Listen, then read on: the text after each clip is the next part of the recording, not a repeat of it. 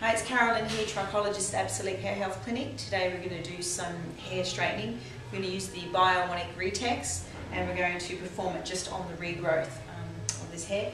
We've done the Retex on this head of hair before. We did it uh, back in February this year.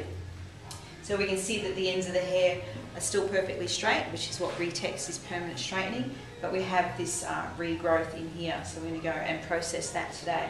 Now what we found is when we did do this hair back in February that we had suffered some hair loss and we had hair thinning. So in that time we've been doing a bit of home care and we've got a much better uh, quality of hair coming through, the hair density is coming back and specifically we had a lot of breakage in here around the face last time, which we overprotected and overprotected.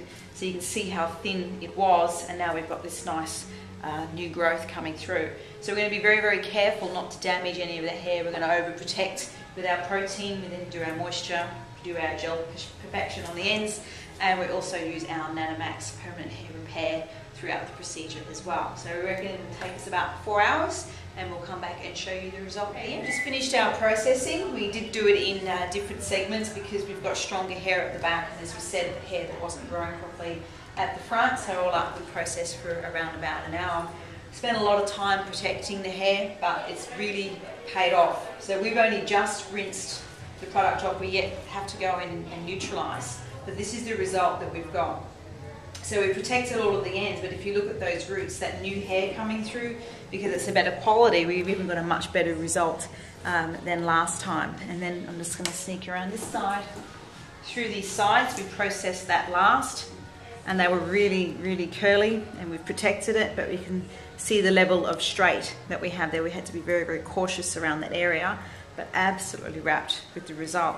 So what we're going to do now is go in and we do our stretch blow dry. This is the beginning of the neutralising part. We're going to incorporate our Nanomax hair repair.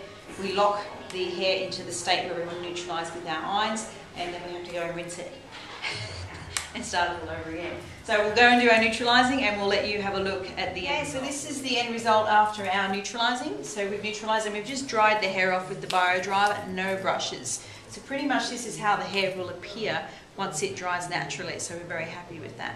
If you want to go over and you can smooth the ends, uh, as we said, this hair was not growing properly, so obviously the ends were not processed today, but they're not as healthy as the rest.